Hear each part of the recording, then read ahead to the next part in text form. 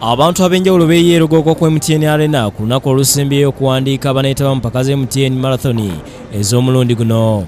Abantu bano bonna bagamba nti baagala okwenyigira mu mpaka za mtn okusobola okuddukira abantu mu disitulikiti y'e buduuda abaabuutikirwa ettaka gye buvuddeko wabula okwewandiisa kuno kwongezeddwayo olw'abantu ababadde abangi. Nga kati kwakukomekerezebwa ku lwokutaano lwa wiikendi ku mtn arena e lugogo mu beewandiisiza leero mubaddemu ne zebula ssennyanga omukubi w'ebikonde ng'ono yeetegekera hasani banabana nga asatu omwezi guno mu kisaawe kye kimu erugogo yo kampuni enkozi y'amazzi eya lwenzoli edduukiridde ekibiina ekitwala emisinde mu ggwanga ne katoni z'amazzi kakaaga.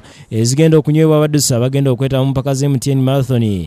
Ku sande eno daniel ogong kitunzi wa kampuni eno yakwasiza aba mtn amazzi ku kitebe kya lwenzoli namanve ye omumyuka wa pulezidenti w'ekibiina ky'emisinde mu ggwanga lawrence kavuma asiimye aba kampuni ya lwenzoli n'ategeeza nti abaddusi abasukka mu mitwalo ebiri be bagenda okuvuganya mu mpaka zino okulaba nga bafunira abantu b'ebuduuda amazzi amayonjo.